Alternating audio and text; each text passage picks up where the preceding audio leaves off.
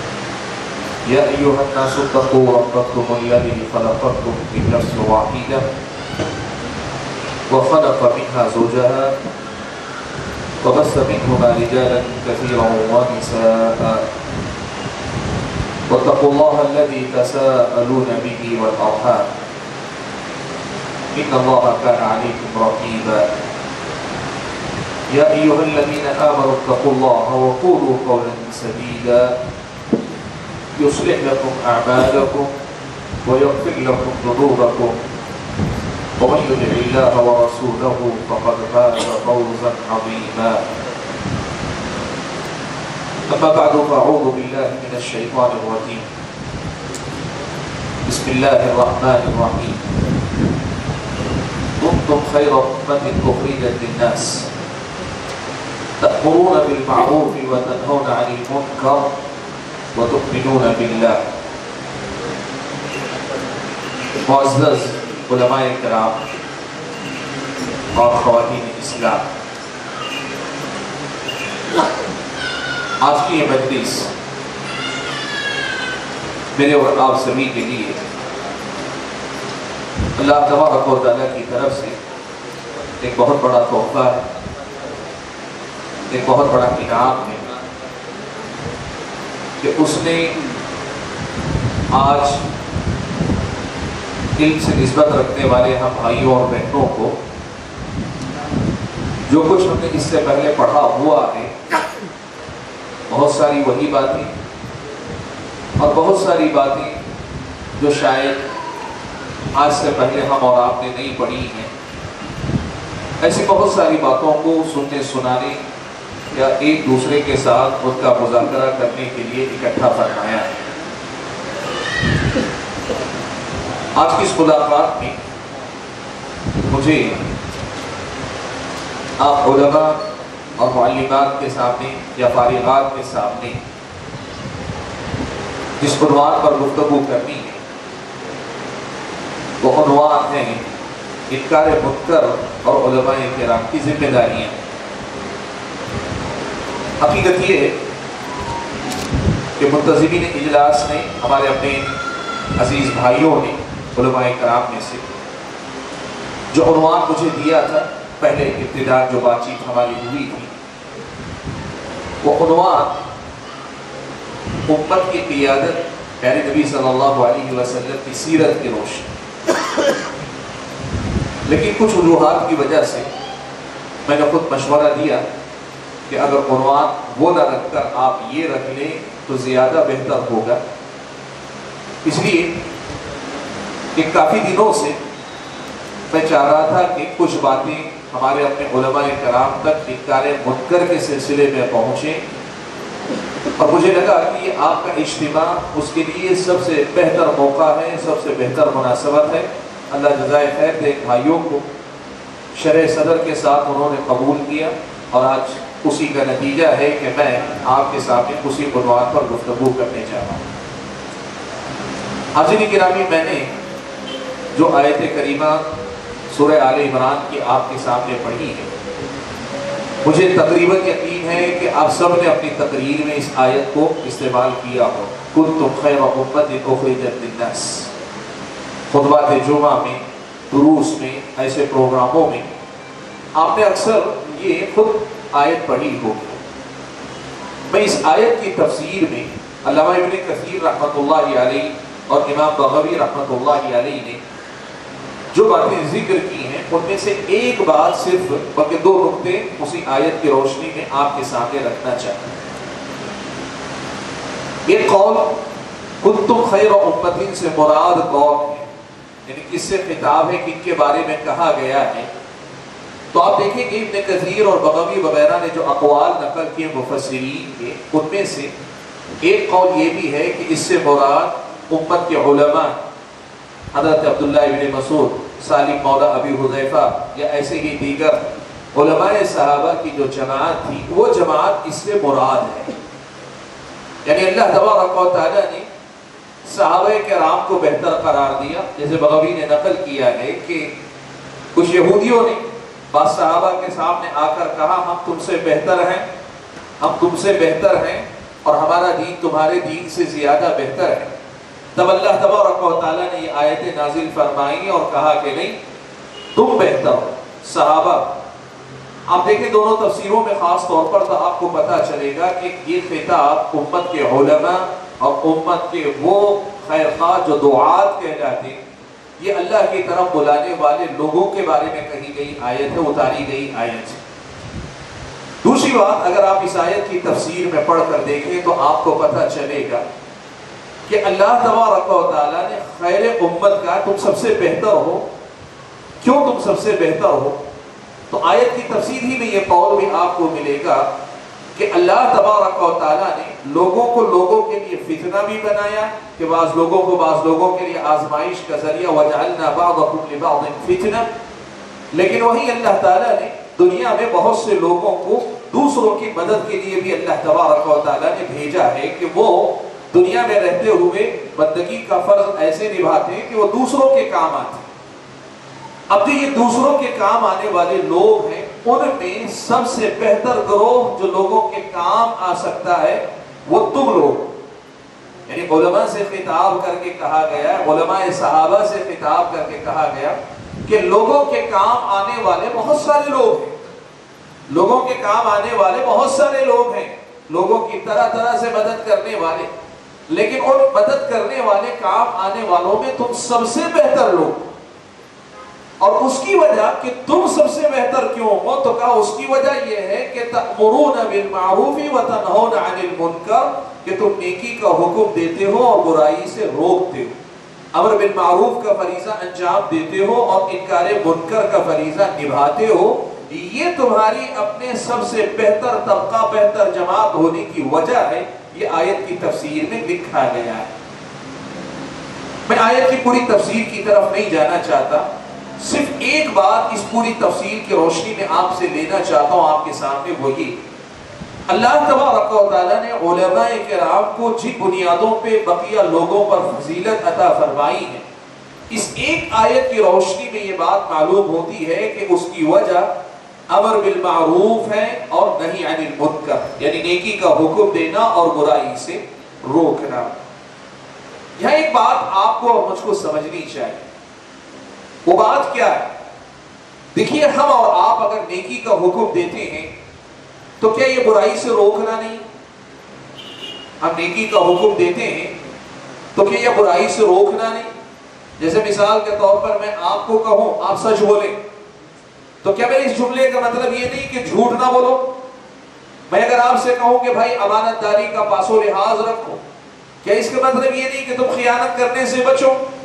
मैं अगर आपसे कहूँ कि अल्लाह की इबादत करो, सिर्फ़ अल्लाह की इबादत करो तो क्या इसका मतलब ये नहीं कि तुम गैरुल्लाह की इबादत मत करो, शिरक मत करो?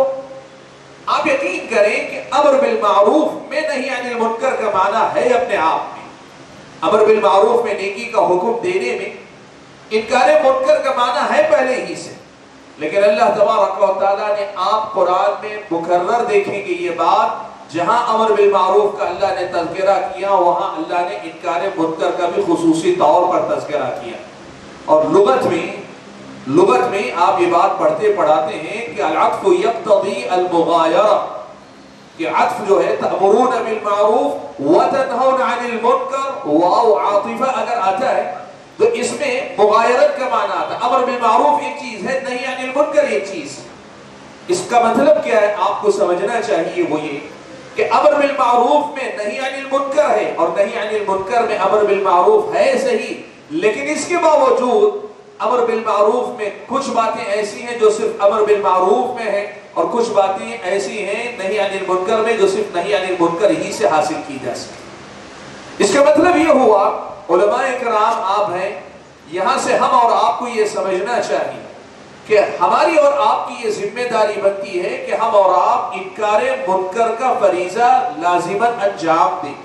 बुराई को बुराई कहना सीखें, बुराई को बुराई कहने की आदत डालें बुराइयों से लोगों को रोकना सीखें। और ये बुराइयों से रोकना कैसे होना चाहिए? सिर्फ़ नेकी का हुक्म देकर नहीं, जैसे बहुत सारे लोगों का मिजाज है। सिर्फ़ वो अच्छाई बोलते क्यों बोलते कहते कि नहीं, लोगों को बुराई से रोकेंगे तो बुरा लगेगा। हम अच्छाई बताएँगे, लोग समझ जाएँगे कि हम बुराई से रोक रहे हैं।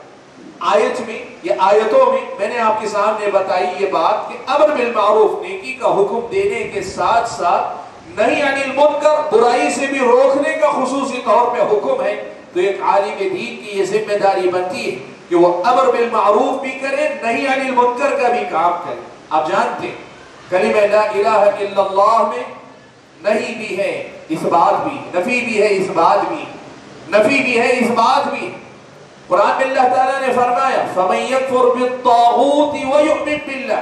कुफर भी ज़रूरी है और ईमान बिल्ला भी ज़रूरी है। आप और मैं इस बात को समझें इकार मुनकर के सिलसिले में ये बड़ा ही अहम मसला है कि हम उलमाए किराम को दुनिया में ये कड़वा घूट पीना पड़ता है, कड़वा घूट पिलाना पड़ता है। देखो, याद रखो, दुनिया में कोई भी आदमी तनकीद करने वाले को पसंद नहीं करता। कब तक नहीं पसंद करता? जब तक उसे खुद इसका पता ना चल जाए कि ये तनकीद उसके हक में अच्छी है, तब वो आपको पसंद करेगा। लेकिन हम कराम की ये ज़िम्मेदारी है कि हमें ये कड़वा घूट पीना भी पड़ता है, पिलाना भी पड़ता है। कड़वा घूट क्यों कह रहा हूँ? आज आप देखिए, मैं आपके सामने आकर किसी भी मजमे में आपके सामने आपकी खूबियों का तस्करा करो या ऐसे अच्छे कामों की बात करो जिसमें आपको तरजीब मिले, आपकी अपनी बात आगे बढ़े तो लोग बड़ी खुश होकर सुनते हैं, बड़ी तारीफें करते हैं, सब करते हैं। लेकिन वही अगर ऐसी कोई गुफ्तगु आ जाए जिसमें तनकीद हो और तनकीद हक बजानी हो, उसमें किसी शरीर खजूर की मुखालफत ना हो, आप अपने दिल को टटोल कर बताएँ, पहली तकरीर के बाद जो असर आपके दिलों पर होगा कि दूसरी किस्म की तकरीर के बाद भी आपके दिलों में वो असर हो ये तभी चीज़ है कि इंसान को तनकीद गवारा नहीं होती। नहीं अनिल मुनकर में हमें ये कड़वा घूट गवारा करना पड़ता है खुद। लोगों को पिलाना, ये कड़वाहट है, लोग नहीं पसंद करते। और जवाब में कभी तारीफ़ नहीं होती, कभी पसंदीदगी नहीं होती, उल्टा नाराज़गी होती, कई मरतबा तो बसा औकात। लोग उल्टा उसके बाद दुश्मनी निभाने पे आ जाते हैं। दुनिया के अंदर आप देखते हैं हर सतह पे। ये मसला आपको अकाइद में भी मिलेगा। ये मसला आपको मनहज के मसाइल में भी मिलेगा। ये मसला आपको अवामनास की सतह पर बुराइयों से रोकने में मिलेगा। अगर आप सूद पे गुफ्तगु करेंगे, जो आदमी सूदी लेन देन करेगा ना, कल से उसके तेवर आपके साथ बदल जाएँगे। आप अगर रिश्ते नाते निभाने की बात करेंगे ना तो आपके अपनी ज़िंदगी के अंदर आप देखेंगे जो रिश्ते नातों में कमज़ोर है, उसका रवैया आपके साथ बदल जाएगा। कई मरतबा तो ऐसे होगा कि रिस्क हलाल पे आप बात करेंगे, हराम रिस्क कमाने वाले आदमी का सुलूक आपके साथ बदल जाएगा। ये घूट कड़वा इनकार मुनकर का जो मसला है, ये कड़वाहट है। लेकिन इसको पीना पिलाना ये हमारी और आपकी ज़िम्मेदारी है अल्लाह के बदले। क्यों? ये वो दवा है कि जिस दवा से बहुत सारी बीमारियों का इलाज होकर अल्लाह के फजल करम से शिफा आदमी को मिलती है। जिस तरह एक बीमार को कड़वी दवा पिलानी पड़ती है ऐसे ही इनकार मुनकर का मसला भी है कि आदमी को बुराइयों से रोकने के मामले में बिल्कुल तबीबाना मिजाज लेकर, तबीब वाली सोच लेकर काम करना पड़ेगा। और प्यारे नबी सल्लल्लाहु अलैहि वसल्लम की ज़िंदगी में आपको ये बात नज़र आएगी कि अल्लाह के नबी सल्लल्लाहु अलैहि वसल्लम ने ये दोनों चीज़ें अपनी ज़िंदगी में रखी, हमेशा रखी। नेकी का हुक्म भी दिया, बुराइयों से आपने रोका। वो बुराई चाहे शिरक हो, वो बुराई चाहे कुफर हो वो बुराई चाहे बिदात हो, वो बुराई चाहे गुनाह हो, गुनाह कबीरा। वो बुराइयाँ चाहे गलतियाँ चाहे इबादत में हो, वो बुराइयाँ मुआमलात की बुराइयाँ हो। वो बुराइयाँ चाहे मेरे और आपके साथी अखलाक की हो। लेकिन इन बुराइयों के खिलाफ बात करने का हौसला हमारे और आपके अंदर होना चाहिए।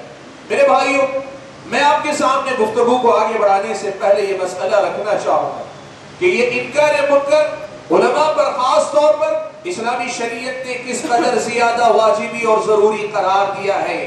दो चीज़ें सिर्फ़ आपके सामने ज़िक्र करता हूँ अल्लाह तबारक ने बनी इसराइल का तस्करा फरमाया। अल्लाह ने हफ़्ते के दिन मछलियों के शिकार को उन पर हराम करार दिया, ममनू करार दिया। ये गिरोह ने मछलियों का शिकार किया, दूसरे गिरोह ने उनको रोका, तीसरे गिरोह ने ये कहा कि भाई क्यों रोकते हो, मना क्यों करते हो? इन लोगों का तो कोई फ़ायदा होगा नहीं।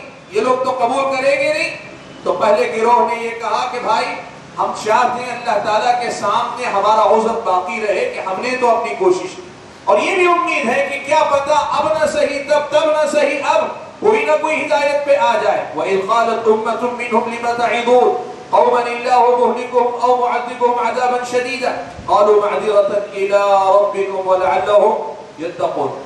फिर अल्लाह ताला ने आगे बात बयान फरमाई अल्लाह ताला ने आगे बात बयान फरमाई कि फिर जब हमारा अजाब आया ना तो जो लोग अल्लाह सू, जो बुराई से रोका करते थे, हमने उनको नजात दे दी और दूसरे जो जालिम थे, जो गुनाह करते थे, जो मुनकर वाले थे, अल्लाह ताला ने उनको अजाब में मुब्तला कर लिया। दरमियानी जो गिरोह था, जिसने बुराई भी नहीं की, और बुराई से रोकने वालों का साथ नहीं दिया, बल्कि बुराई से रोकने वालों को नसीहत करते रहे। इनके साथ क्या सुलूक हुआ? आप अगर तफसीर पढ़ के देखें, दो अलग अलग कौल आपको मिलेगी। बाल मुफसरीन ये मानते हैं कि जब अल्लाह ताला ने जालिमों को हलाक किया तो जालिमों के साथ साथ अल्लाह तबारक ने बुराई से न रोकने वालों को भी अल्लाह ताला ने हलाक कर दिया। यानी वो जो इनकार मुनकर नहीं करते थे, उनको भी अल्लाह ने हलाक कर दिए ये बात मुफसरीन की राय और अगर ये कौल सही भी ना हो तो कम से कम आपको ये आयत याद है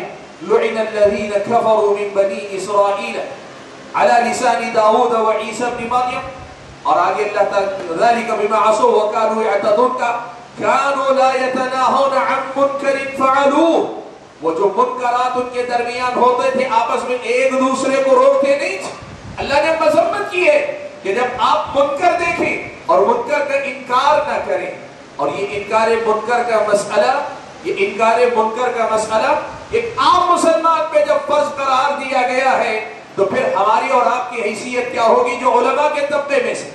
मुनकर तुम में से जो आदमी मुनकर को देखता है फलयुगैर हो भी यदि अपने हाथ से उस मुनकर को बदलने की कोशिश करे।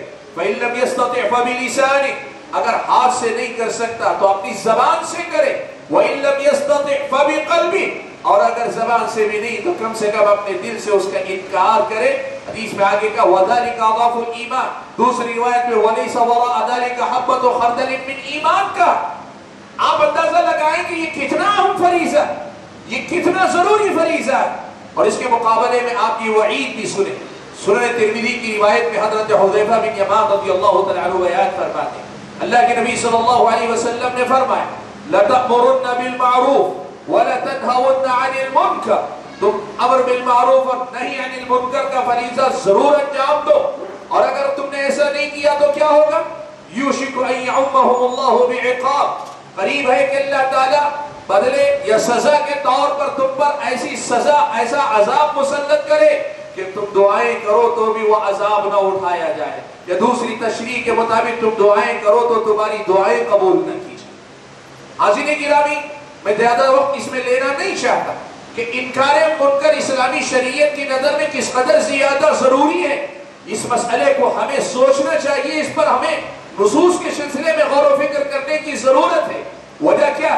वजह यह है कि आज हम जिस जमाने में जी रहे ना, इस जमाने के अंदर इनकार मुनकर खुद एक मुनकर बन गया है। आज बुराई से रोकना एक बुराई है लोगों की नज़र में। आप नेकी का हुक्म दे, आपको कोई बुरा नहीं कहता। आप अल्लाह ताला की तारीफ़, अल्लाह की तोसीफ, अल्लाह की बड़ाई, अल्लाह ताला की अजमत, उसकी किबरियाई बयान कीजिए।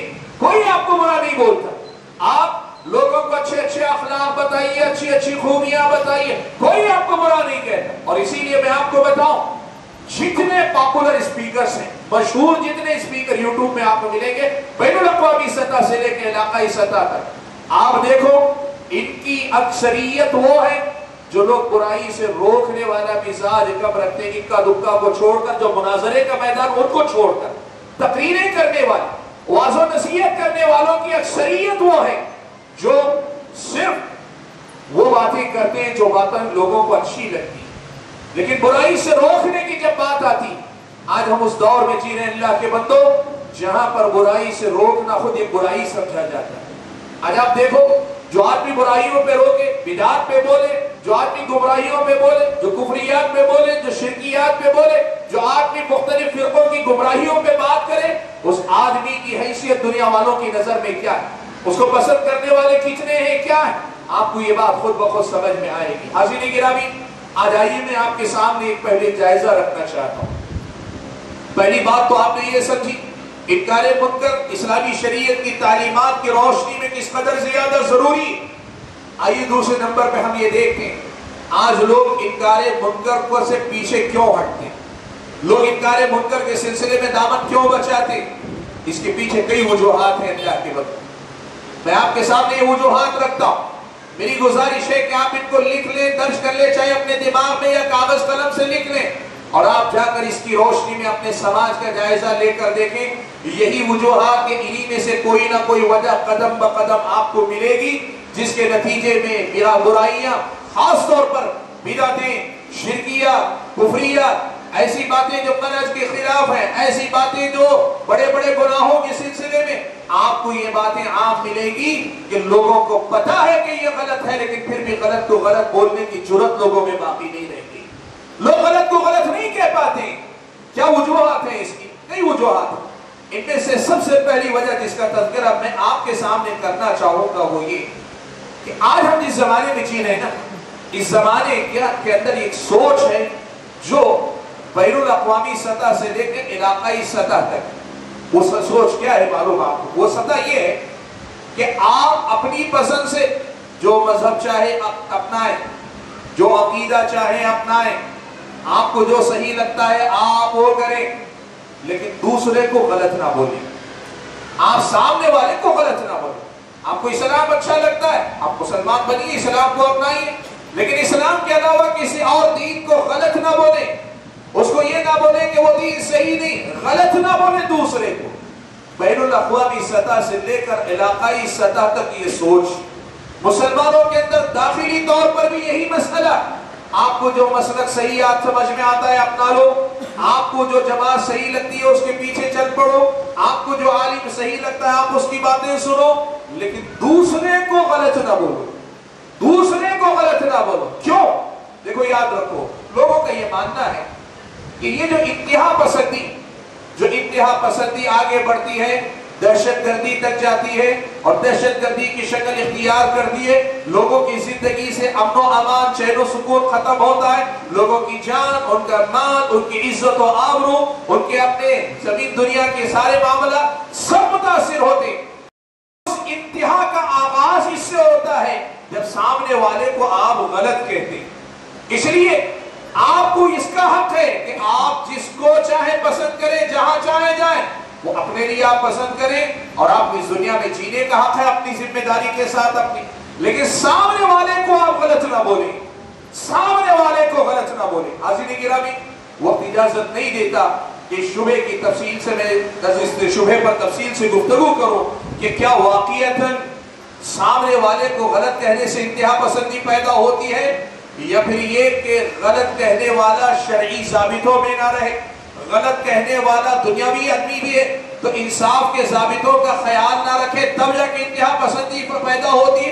दो बातों में बड़ा फ़र्क मुख्तसर अल्फाज में सुन ले आपकी बात। याद रखें, हर आदमी जब एक चीज़ को सही समझता है तो उसका मतलब ये हुआ दूसरी चीज़ को वो गलत मानता है। एक चीज़ को बेहतर समझता है तो इसका मतलब ये हुआ कि दूसरी चीज़ को वो कमतर मानता है। ये चीज़ तभी है, फितरी है, इससे किसी को छुटकारा नहीं। ये कहना कि तुम दूसरे को गलत ना बोलो। ये बातें कहने में अच्छी लगती वरना मानते सब कुछ। सब मानते जो अपने आप को सही मानता दूसरे को गलत मानता ही है। लेकिन मेरे भाइयों इतिहा पसंदी यहाँ से सिर्फ़ नहीं पैदा होती। असल इतिहा पसंदी पैदा पैदा होती है जब आदमी ये गलत और सही का फैसला शर्ई मामलात में, किताब और सुन्नत की सही बुनियादों पे ना रखे और दुनियावी मामलात में अदल इंसाफ के सही तराजों पे ना रखे। इंतहा पसंदी की वजह सही और गलत नहीं असल से सही और गलत चले आ रहे हैं और क्यामत तक सही और गलत रहेंगे। सही को सही और गलत को गलत कहना ये इंतहा पसंदी की बुनियाद नहीं है अल्लाह के बंदे। मुनकर को मुनकर कहना ये इंतहा पसंदी की बुनियाद नहीं है। बुनियाद असल में ये, इनकार मुनकर या मुनकर को मुनकर कहने का जो मैार है, वो किताब और सुन्नत ना हो, वो सलफ सहाबा का फहम ना हो, लोग अपने मेयारात लाते हैं, तब जाके इंतहा पसंदी पैदा होती है। और ऐसे ही दुनियावी मामला अगर कोई किताब और सुन्नत में ईमान रखने वाले ना हो तो कम से कम अदल इंसाफ का जो मैार है, जो मीजान है, जो तराजू है उस पर अगर मामलात न तो ले जाए, न तय किए जाए, तब जाकर ये इंतहा पसंदी पैदा होती है। तो मैं ये कह रहा हूँ कि आज लोग इनकार मुनकर से पीछे क्यों हट रहे हैं? इसलिए कि ये आम दुनिया का चलन है इस वक्त। इस वक्त आम दुनिया का चलन है। खासतौर पर आप जानते हैं, पिछले 20 से 25 साल का दौर ऐसा है कि पूरी दुनिया ने बैन अवी सतह पर और हमारे अपने मुल्क में दीगर ममालिक के अंदर आप देखते हैं कि ये सब इंतहा पसंदी, और दहशत गर्दी और उससे आगे खतलोमून खराबा, इन सब चीज़ों का तजर्बा कर चुके इस वजह से अब लोगों ने जब इनकार मुनकर को इससे जोड़ दिया तो दहशत गर्दी की तरह इनकार मुनकर भी एक नापसंदीदा बात बनकर रह गई अल्लाह की बात जबकि हम और आप जानते हैं, अल्लाह ताला अगर इनकार मुनकर का हुक्म दे रहा है तो इसमें दहशत गर्दी की बात नहीं हो सकती। इसमें इंतहा पसंदी की बात नहीं हो सकती। गलती कहीं और हो रही है। भाई पहली वजह यह है कि आज दुनिया का एक आम मिजाज है, वो क्या है? खुद को सही समझते हो, समझो। सामने वाले को गलत ना बोलो। और मेरे भाइयों, आप उलमाए कराम खातन इस्लाम आप आलिमात पढ़ी लिखी खातन आपको ये बात समझ में आनी चाहिए। दुनिया वाले ना समझे तो ना समझे। लेकिन आपको यह समझ में आना चाहिए, इनकार मुनकर और इंतहा पसंदी में बड़ा फ़र्क है अल्लाह के बंद। इनकार मुनकर और इंतहा पसंदी में बड़ा फ़र्क है। इस फ़र्क को समझना पड़ेगा, तभी हम और आप इनकार मुनकर के सिलसिले में अपनी ज़िम्मेदारी को समझ कर निभा पाएँगे। वरना क्या होगा? चलो तुम उधर को, हवा हो जिधर की, जमाना जिस रुख में जा रहा है, हम भी उसी रुख में जाएँगे। नतीजा ये होगा, इनकार मुनकर खुद मुनकर बन जाएगा। हम इनकार मुनकर छोड़ बैठेंगे, और अल्लाह ना करे ये भी होगा कि फिर उसके बाद अल्लाह ताला की तरफ़ से हमारी और आपकी गिरफ्त होगी ताकि ये पहली वजह है, जिसकी वजह से हमारे समाज में लोग इनकार मुनकर से पीछे हटते दूसरी वजह सेकुलरिज्म का एक मतलब लोगों ने गलत समझा हुआ। वो क्या है? देखिए सेकुलर होने का मतलब जो दुनिया के अंदर मानते हैं लोग, उसके दो मतलब निकल सकते हैं। एक मतलब ये है कि भाई, ऐसे किसी मुल्क में जहाँ किसी एक मज़हब की हुकूमत नहीं है, वहाँ पे आदमी अपने ईमान और अकीदे पे अमल करे, अपने आप पे रहे। और दूसरी चीज़ है कि आदमी अपने साथ साथ दूसरे को भी सही करे। वो कैसे? देखिए, ये चीज़ है, आप मुसलमान है, मुसलमान बन के रहते हैं। आप किसी गैर मुस्लिम क्रिश्चियन या किसी और मज़हब के लोगों की मजहबी मुनासबतों में शिरकत नहीं करते। और दूसरा तरीका यह है कि आप मुसलमान हैं, लेकिन मुसलमान हैं तो ईद में ईद भी करते हैं। गैर मुस्लिमों की ईद आती है तो उसमें भी शामिल हो जाते हैं।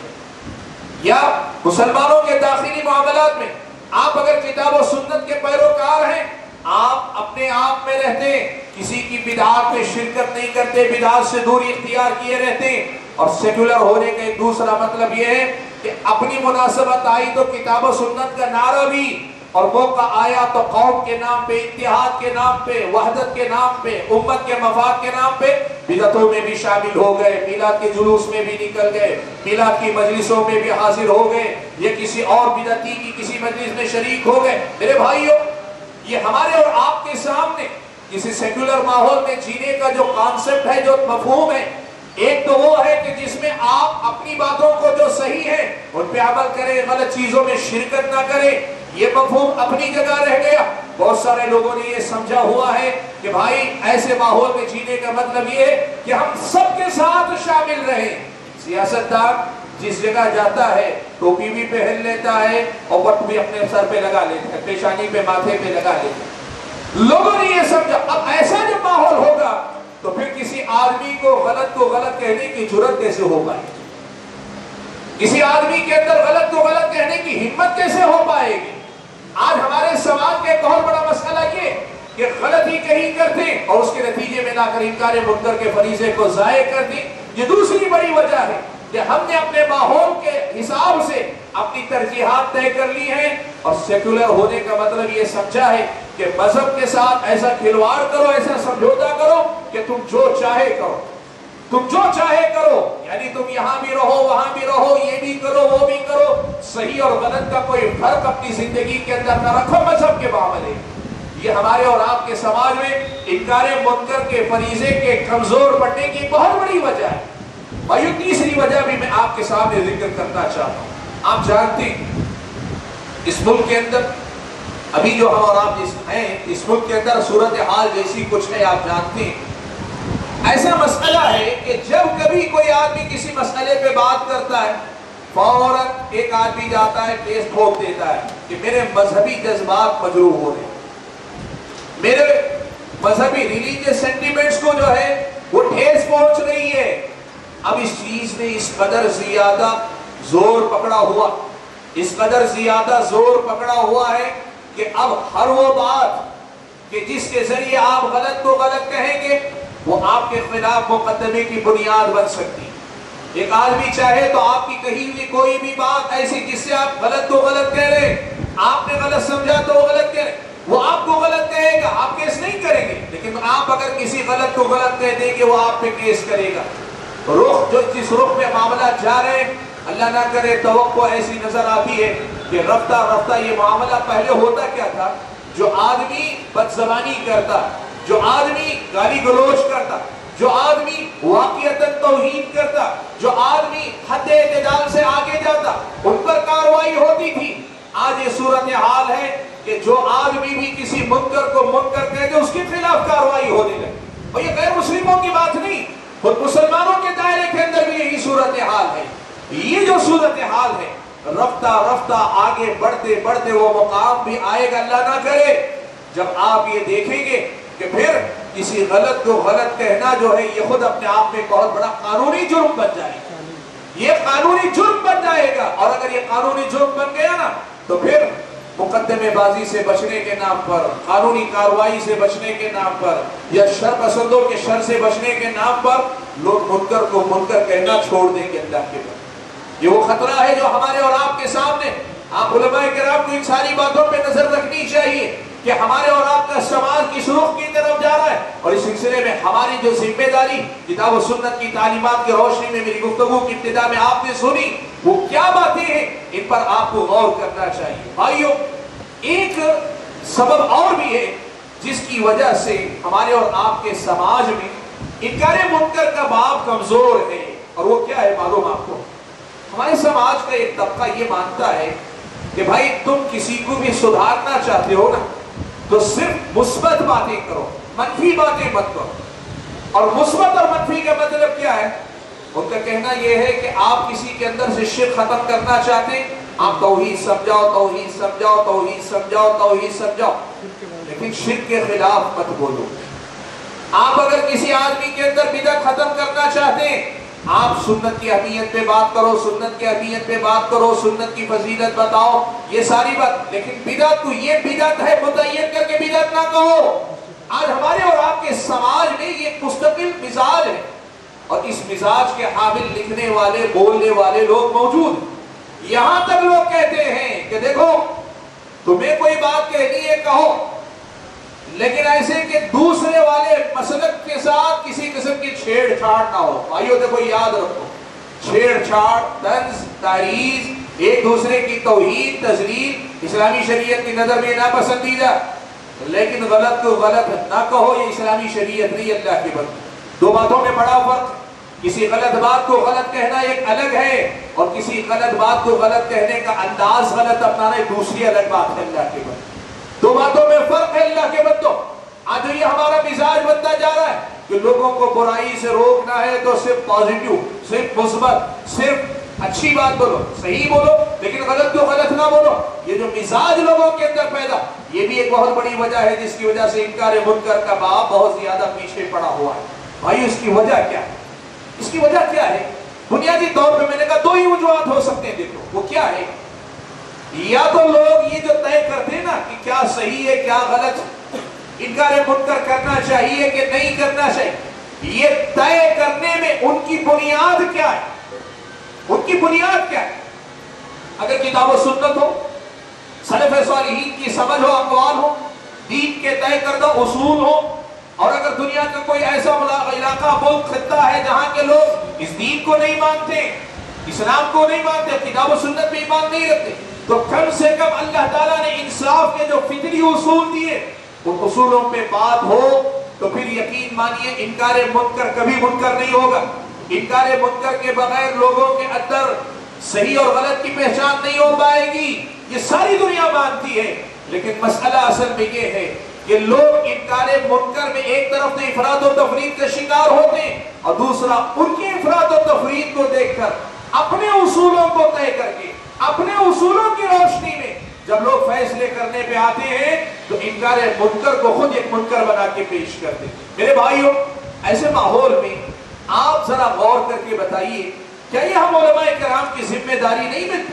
क्या हम कराम की ज़िम्मेदारी नहीं बनती कि हम और आप इनकार मुनकर के सिलसिले में अपने फरीजे को समझ? मैं आपको बताना चाहूँगा, देखो, इनकार मुनकर के सिलसिले में प्यारी नबी सल्लल्लाहु अलैहि वसल्लम ने जो उसलूब अपनाया कुरान मजीद में हम और आपको जो बातें सिखाई, पढ़ाई गई, हम और आपके सामने जो तालीमत रखी गई ना, वो तालीमत को हमें अच्छी तरीके से समझने की ज़रूरत आप देखो, अल्लाह के नबी सल्लल्लाहु अलैहि वसल्लम मक्का में है। अल्लाह के नबी वसल्लम मक्का में है। मक्का में काबतुल्लाह के अंदर 360 बुत रखे हुए हैं। अल्लाह के नबी सल्लल्लाहु अलैहि वसल्लम 360 बुतों वाले काबा में जाकर अल्लाह की इबादत तो करते हैं। अल्लाह के नबी वहाँ मस्जिद हराम में जाके दो इबादत तो करते हैं, और लेकिन सिर्फ़ इसलिए कि शिरक का गलबा है, शिरक को शिरक कहना अल्लाह के नबी ने कभी नहीं छोड़ा था। आप ये बात अच्छी तरह से समझ अल्लाह के नबी सल्लल्लाहु अलैहि वसल्लम ने जब बात की ना तौहीद की आपने सिर्फ़ ला इलाहा इल्लल्लाह आपने सिर्फ़ जो है अल्लाह ताला की इबादत की दावत नहीं दी। आप सल्लल्लाहु अलैहि वसल्लम ने शिरक से रोका, और जब आपने शिरक से रोका, आपके अलावा सारे के सारे लोग मक्का की सारी आबादी। आप ये जानते हैं कि वो शिरक पर थी। अल्लाह के नबी ने गलत को गलत कहा, लेकिन इस्लाम ने हमें गलत को गलत कहने का एक अंदाज सिखाया अल्लाह के बदले। अल्लाह ने फरमाया, वला तसुब्बुल्लज़ीना यदऊना मिन दूनिल्लाह अल्लाह के ताला ने हुक्म दिया कि इनके माबूदा ने बातिला को तुम गाली गलोच मत करो। क्यों?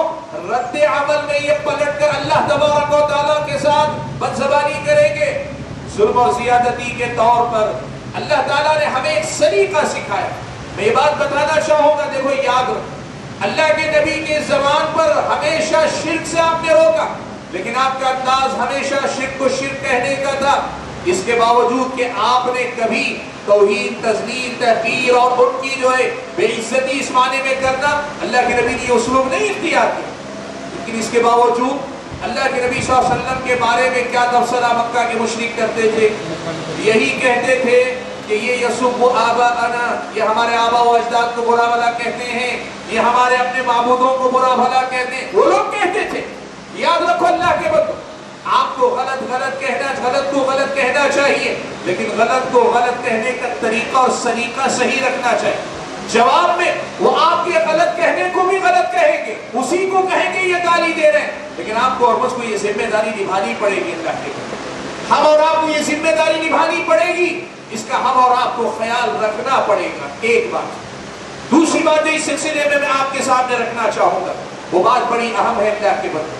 देखो हम और आप जब किसी बुनकर से रोकते हैं ना, किसी बुराई से जब रोकते हैं तो हमारे सामने ये फ़र्क रहना चाहिए कि इस इनकार मुनकर का मकसद क्या हम क्या चाहते हैं? मकसद के एतबार से हमारा और आपका अंदाज और तरीका अलग होना चाहिए। एक अंदाज ये होता है कि हम और आप दूसरे लोगों को आगाह करना चाहते हैं, रोकना चाहते हैं, ये बिदत है। ये इंसान बिदती है, ये जमात बिदती है, ये काम बिदत है। दूसरे लोगों को रोकना चाहते हैं, सबसे सख्त लहजे में रोकिए ताकि लोग चौकन ना हो। मीठी मीठी बातें करेंगे ना, कई मरतबा मीठी गोलियाँ असर नहीं करती अल्लाह के बंद। आप जब लोगों को रोकना चाहते डराना चाहते मुतनबे करना चाहते तो आप लोगों के सामने दो और वाजे बात रखो। ये गलत है और डांट डपट के रखो, अच्छे अंदाज में रखो कैसे? अल्लाह के नबी वसल्लम के साहबी हज़रत अब्दुल्लाह इब्न उमर रज़ी अल्लाह सही मुस्लिम के मुकदमे में ये रिवायत है, आप देखें कि बसरा से दो लोग चल कर आए, दो लोग चल कर आए। आकर उन्होंने कहा कि अबू अब्दुलरहमान हमारे अपने इलाके के अंदर कुछ ऐसे लोग ज़ाहिर हुए हैं जो तकदीर का इनकार करते हैं। आप हमें क्या कहते हैं? हज़रत अब्दुल्ला उमर ने क्या किया मालूम है आपको? हज़रत अब्दुल्ला इब्न उमर रज़ी अल्लाह तआला ने सीधे दो टोक बात कही। क्या बात कही? हज़रत अब्दुल्ला इब्न उमर ने कहा जब जाओ ना तो जाकर कहना, अना बरी उम्मिन हूँ मिन्नी मैं उनसे बरी हूँ वो मुझसे बरी। मेरा उनसे कोई ताल्लुक नहीं और उनका हमसे कोई ताल्लुक नहीं। ये अल्फाज है अगर आप अरबी जबान में बारात की जो नजाकत है, बारात की जो कुवत है, बारात में जो दलालत है, अगर आप उन अल्फाज की गहराई में उतरेंगे, पता चलेगा कितना सख्त तबसरा हज़रत अब्दुल्ला इब्न उमर ने कितना सख्त मौकिफ अपनाया। सलफ सालिहीन की ज़िंदगी आप देखें, आपको पता चलेगा, जब सुन्नत का गलबा हो, कोई आदमी नई नई बिदतों को लेके उठ रहा हो ना तो सलफ सालिहीन इन अहले बिदत के खिलाफ कैसा रवैया अपनाते थे, आप ये बात नोट करके देखें। लेकिन मेरे भाइयों, इसके बरक्स, अगर आप एक आदमी को मधु कर रहे एक आदमी की बुराई में रोक कर उसे खुद बुराई से रोकना चाहते हैं यहाँ आपका और हमारा अंदाज कैसा होना चाहिए? कुरान मजीद में अल्लाह ताला ने खुद बयान है हज़रत मूसा और हारून को भेजा। हज़रत मूसा और हारून को भेजा। और दोनों को जब भेजा तो अल्लाह ताला ने कहा किसके पास, फिरौन के पास, कहा, फकूला लहू कौलन लय्यिना फकूला लहू कौलन लय्यिना तुम दोनों फिरौन के पास जा रहे हो। उससे नरम गुफ्तगू करना, उससे नरम बातचीत करना। क्यों हो सकता है वो नसीहत हासिल करे हो सकता है भूली हुई हकीकत उसे याद आ जाए या हो सकता है अल्लाह ताला का डर उसके अंदर पैदा हो भाइयों ये बड़ी अहम बात आप अगर उसकी बुराई को देखें उससे ज़्यादा बड़ी बुराई क्या होगी कि फिरौन है कहता है ना रब्बुकुमुल आला मैं तुम्हारा रब हूँ रब्बे आला मैं ही हूँ इतना बड़ा जालिम है लेकिन इसके बावजूद अल्लाह ताला ने हज़रत मूसा और हारून को क्या कहा इस बंदे से आप नरमी नरम लहजे में बात करो क्यों? इसलिए कि असल मकसद, पहला मकसद ये है कि ये आदमी नसीहत हासिल करे, ये सुधर जाए। इसके अंदर अल्लाह का डर पैदा हो, ये असल मकसद है। याद रखो अल्लाह के बंदो, शेख अलवानी रहमतुल्लाह अलैहि ने इसकी हिकमत को वाजे करते हुए बड़ी प्यारी बात की।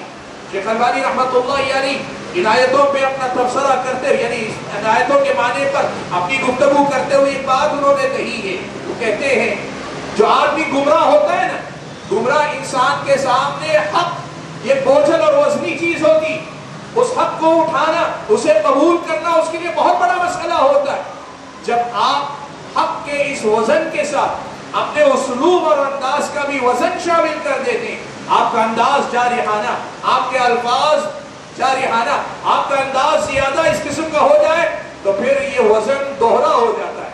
और वो आदमी सामने वाला इस दोहरे बोझल वज़न दूसरे दो, दोहरे बोझ को या इस वज़न को उठा नहीं पाता है जिसके नतीजे में कई बार वो हक बात कबूल करने से पीछे रह जाता है। इसलिए भाइयों ये बात याद रखो जब मकसद आदमी को हिदायत पे लाना हो ना तो सामने वाले पे जब आप गुफ्तगु करें मौका महल के एतबार से जब आपका मकसद सामने वाले को हिदायत पे लाना हो तो हज़रत मूसा व हारून की इस नमूने को सामने रखो और वही लोगों को बुराई से रोकना है, या उसी आदमी को बार बार नसीहत की गई, लेकिन वो अपनी बिदत में मुसिर है तो फिर उसको डांटने डपटने के लिए सलफ सालिहीन के जो नमूने, इन दोनों बातों को सामने हमारे समाज की गलती क्या है, आपको मालूम है? इनकार मुनकर में कुछ लोगों को सिर्फ़ हज़रत मूसा और हारून का नमूना ही याद आता है। वो कहते हैं सबके साथ बस ऐसे ही नरम नरम बात करो, किसी के साथ सख्ती न करो। और वही कुछ लोगों को सलफ सालिहीन के ये मवाकिफ याद आते और वो कहते हैं, हर हाल में सिर्फ़ यही मौके अख्तियार करो। अल्लाह के बंदो उसलूब अंदाज के उसलूब और अंदाज मकसद के एतबार से तय करो। आप और हमको हर दो किस्म के अंदाज को अपनाना पड़ेगा आप और हमको हर दो किस्म के अल्फाज को देखना पड़ेगा और दोनों किस्म की बातों को सामने रखकर हमें इस मकसद को पूरा करना पड़ेगा। भाइयों, वक्त इजाज़त नहीं देता कि मैं ज़्यादा बातें आपके सामने रखूँ। बहुत सारी बातें। मैं सिर्फ़ कुछ नका नुकात गिनाकर अपनी बात को खत्म कर लेता हूँ। इनकी फिर अपनी तफसील है, इनमें से हर एक एक तफसील ये भी है कि किसी भी काम को मुनकर करार देने के लिए हमारे और आपके पास मैार शरी होना चाहिए। हमारे पास क्या है? कुछ चीज़ों को समाज में मुनकर मान लिया तो हमने भी मुनकर मान लिया। हालाँकि शरीयत की नज़र में वो गलत नहीं। और कई बार ऐसा होता है, शरीयत इस्लामिया की नज़र में कुछ बातें मुनकर हैं, गलत हैं, लेकिन समाज में उसको मुनकर नहीं समझा जाता। हम भी मुनकर समझना छोड़ देते। इस मसले पर भी हमें गौर करना पड़ेगा। शरीयत के मैार पे मुनकर होना, ना होना, ये तय करना पड़ेगा। और एक बात जिसका हम और आपको ख्याल रखना पड़ेगा। मुनकरात की दर्जाबंदी मुनकरात की दर्जाबंदी है। कुफर है, शिरक है, ये सबसे बड़े मुनकर है। कुफर शिरक के बाद बिदात सबसे बड़ा मुनकर है। उनके बाद अगर आप देखें बड़े बड़े गुनाह मुनकर हैं। उनके बाद अगर देखें, फराइज और वाजिबात को छोड़ना ये बहुत बड़ा मुनकर है। उसके बाद अगर आप देखें मुस्तहबात में पीछे रह जाना हमेशा, ये इस माने में मुनकर है कि आप फजीलत वाले काम से पीछे रह जाते मेरे भाइयों दो बातों का इसमें याद ख्याल रखना पड़ेगा। ये जो दर्जे इनमें दो बातों का ख्याल रखना पड़ेगा। वो क्या? किसी समाज में बड़े दर्जे का मुनकर हो, आदमी उस पर बात ना करके छोटे छोटे मुनकर आदमी से बात करे तो आपने हक अदा नहीं किया इनकार मुनकर। आपने इनकार मुनकर का हक अदा नहीं किया? कितने ऐसे आपको वाइजी उलेमा चाहिए जो शराब पे बोल सकते हैं, नशे पे बोल सकते हैं, जिना पे बोल सकते हैं वोट खतलो खून खुरेजी पे बोल सकते हैं सूदखोरी पे बोल सकते हैं, लेकिन किसी बिदत पे बोलने बोले, पीछे हट जाते क्यों? इसलिए कि मैार शरीय नहीं, अल्लाह के बंदे। आप ये बात याद रखें, बिदात गुनाहों से ऊपर की चीज़, और इतनी बड़ी चीज़ है। अल्लाह रहमतुल्लाह अलैहि ने यहाँ तक नकल के, इमाम अहमद बिन हम्बल से, कि अगर कोई अहले सुन्नत में से, फासिक व फाजिर भी होगा अहले बिदत के जाहिद व आबिद से ज़्यादा बेहतर इंसान बिदत इतनी खतरनाक चीज़ है। लेकिन हमारे समाज में ये जो दर्जाबंदी है मुनकरात से रोकने की। इसमें लोग छोटी छोटी बातों पे तो तवज्जो देते हैं। जो बड़े मुनकरात थे इनकी तरफ़ कोई तवज्जो हमारे समाज में नहीं। और दूसरी बात ये भी, कि जब समाज में हर तरह के मुनकर हैं तो होना ये चाहिए कि इनकार भी हर तरह के मुनकर पर। और जो मुनकर जिस कदर ज़्यादा है उस कदर मुनकर को अहमियत देकर उसको मिटाने की कोशिश करनी चाहिए। ये दर्जाबंदी के एतबार से, मुनकर के दर्जे के एतबार से भी काम करने की ज़रूरत है। और उसके साथ भाइयों, एक बात ये भी याद रखें, इनकार मुनकर के सिलसिले में अहले के पास ये भी तफसील है कि कब इनकार मुनकर वाजिब है, कब इनकार मुनकर मुस्तहब है और कब इनकार मुनकर जायज़ नहीं होता। यानी इनकार मुनकर आप एक मुनकर को हटाना चाहते हैं आपके इनकार से मुनकर मिट जाता है, या कम से कम कम हो जाता है तो आपको इनकार मुनकर करना चाहिए। लेकिन आप ये मुनकर को मिटाना चाहते हैं, लेकिन उससे बड़ा मुनकर वजूद में आ सकता है तो पहले मुनकर पे नकीर करना इस्लाम की नज़र में जायज़ नहीं होगा। इसलिए कि आप ये बुराई का खातिमा कर रहे हैं, उससे बड़ी बुराई को ला रहे। हैं ये जो तफसीलात ने इनकार मुनकर के सिलसिले में रखी, ये तफसीलात भी हम और आपको याद रखनी चाहिए। और ये भी साथ में याद रखना चाहिए कि इनकार मुनकर के जो तीन दर्जात इनकार मुनकर के जो तीन दर्जात हैं, कि आदमी हाथ से रोके, आदमी जबान से रोके, आदमी दिल से बुरा जाने, दिल से इनकार करे, ये कौन कर सकता हाथ से रोकने का इख्तियार किसे? जबान से रोकने के जाबिते क्या है? और उसके साथ दिल से बुरा मानने का मतलब क्या है? इसकी तफसीलात भी किताब सुन्नत में है। इनको भी हम और आपको सीखना चाहिए। उन्हीं की रोशनी में इनकार मुनकर का फरीजा अंजाम देना चाहिए। और एक आखिरी बात मैं आपके सामने ये भी ज़िक्र कर देना मुनासिब समझता हूँ। मेरे भाइयों, ये सारी चीज़ें ये फराज, ये तफरीक की थी। इनकार मुनकर में कहाँ कहाँ कोता ही रही है। कई बार ऐसा भी होता है, इनकार मुनकर के बाद में लोग इफराद की तरफ़ चला जाते लोग इफराद की तरफ़ चले जाते इफराद क्या है? इफराद क्या है मैं आपको बताऊँ? एक आदमी अगर किसी सुन्नत में अमल नहीं कर रहा है, यानी मुस्ताहब दर्जे की नेकी से पीछे इस्लामी शरीयत की नज़र में ऐसे आदमी के बारे में क्या कहा जाएगा? ऐसे आदमी के बारे में क्या कहा जाएगा? मेरी बात ये जरा गौर से सुने पड़ी हम बात में खत्म करने जा रहा हूँ अपनी गुफ्तु एक आदमी है जिसे मुस्ताहब काम में पीछे रहता है, इस आदमी का शरी हुक्म क्या है? इसका हुक्म यह है कि यह आदमी फजीलत वाले बहुत बड़े काम को छोड़ रहा है। क्या इसको कोई सजा मिलेगी? कहा नहीं। इसकी मजम्मत की जाएगी? कहा नहीं। आप उसूल फिक में अगर पढ़े, अगर आप मुस्तहब की तारीफ़ पढ़ेंगे ना तो आपको पता चलेगा, करने वाले को सवाब मिलेगा, छोड़ने वाले की मजम्मत नहीं की जाएगी। करने वाले को सवाब मिलेगा, छोड़ने वाले को सजा नहीं दी जाएगी। आज मैं ये बात आपके सामने रखना चाहता हूँ। हमारे और आपकी ये जो हमारे अपने भाई हैं, हमारे समाज में बहुत मुस्तहब काम पीछे है लोग उसमें। उनकी तरबीब दिलाने का अंदाज ऐसा है ऐसे डांटते हैं लोगों को जैसे लगता है कि ये फराइज को छोड़े हुए लोग। मजम्मत इतनी ज़्यादा करते शरीयत इस्लामिया में जो दर्जा नहीं दिया गया, वो दर्जा ये दे बैठते आप देखें मिसाल के तौर पर मैं आपको बोलूँ, कुछ लोग टोपी नहीं पहनते। टोपी नहीं पहनना क्या इसकी इसकी शरी हैसियत। इस्लाम ने जो दर्जा दिया, वहाँ रहना चाहिए। लेकिन इनकार करने वाले कितने ऐसे हैं? जो इनकार इस तरह करते मालूम होता है, शिरक से बड़ा काम कर लिया। या यूँ समझिए गुनाह कबीरा से बड़ा कोई काम कर लिया। इनकार मुनकर के जो दर्जात है ना, उसमें इसका ख्याल रखना चाहिए कि शरीयत में जिस काम का जो दर्जा है, मजम्मत करने, न करने में भी उसी का लिहाज रखा जाना चाहिए। आदमी अगर अपने तौर पर इनकार करने पर आया ना तो कई बार ऐसी चीज़ों का इनकार करता है जिसमें अल्लाह ने इनकार नहीं किया, ये उस पर इनकार कर ये हमारे समाज के अंदर ऊंच नीच पाई जाती है अल्लाह के वक्त। हमें इसका ख्याल रखना चाहिए। और कई बार ऐसा होता है, देखें, गलती गुनाह सगीरा के दर्जे की होती या गुनाह कबीरा के दर्जे की होती या बसाओकात बिदत है, लेकिन बिदत कुफर के दर्जे की नहीं, बिदत कुफर के दर्जे की नहीं, वो बिदत मुफस्सिका, फिस्क के दर्जे की है। लेकिन इनकार करने वाले हमारे हजरात ऐसी ही गलतियों को लेकर लोगों पर कुफर का तक हुक्म लगा दिए काफिर तक कह जाते, मुशरिक कहकर दायर इस्लाम से बाहर निकालते। अल्लाह के बंदो, ये इनकार मुनकर में हद से तजावुज करना है कि जिस गुनाह का दर्जा गुनाह का हो, आप उसे कुफर इस्लाम का दर्जा बना जो बिदत कुफरिया ना हो, मुकफिरा ना हो, आप उसे कुफर का, ईमान का मसला बना दें। इस्लामी शरीयत की नज़र में बहुत बड़ी गलती है। इस सारी गुफ्तगु से जो पैगाम देना चाहता हूँ क्या है? भाइयों, बात मुख्तसर करके यही कह रहा हूँ। इनकार मुनकर एक बहुत बड़ी ज़िम्मेदारी है हम ये हमारी और आपकी ज़िम्मेदारी बनती है कि इनकार मुनकर के जवाब और उसूल क्या है, इन पर हम और आप मेहनत करें। और तफसीली तौर पर इनकार मुनकर का की जो फिक है, इसको सीखें, पढ़ें और उसकी रियायत करते हुए इनकार मुनकर करेंगे ना तो फिर समाज में इनकार मुनकर को जहमत नहीं, रहमत समझा जाएगा। इनकार मुनकर को लोग पसंद करेंगे अगर वाकई मानों में अगर वो समझदार होंगे, उनको समझ में आएगा कि ये बात दवा तो कड़वी दे रहा है, लेकिन इसकी कड़वी दवा में समाज की शिफा है, लोगों की समझ में आएगा इंशाअल्लाह। अगर वो समझदार होंगे, और हमारा और आपका अंदाज इनकार मुनकर के सिलसिले में किताब सुन्नत की तालीमत के मुताबिक होगा। मुझे उम्मीद है कि आप के नाम आप मालिमात हैं। मेरी गुफ्तगु जिसमें कुछ हिस्सा मैंने जरा तफसील से रखा और ज़्यादातर बातें मैंने सिर्फ़ इशारों में रखी। मुझे उम्मीद है आप इन बातों को अभी समझेंगे और आइंदा भी इस पर मेहनत करके ज़रूर इनकार मुनकर की फजीरे फरीजे को निभाने की कोशिश करेंगे।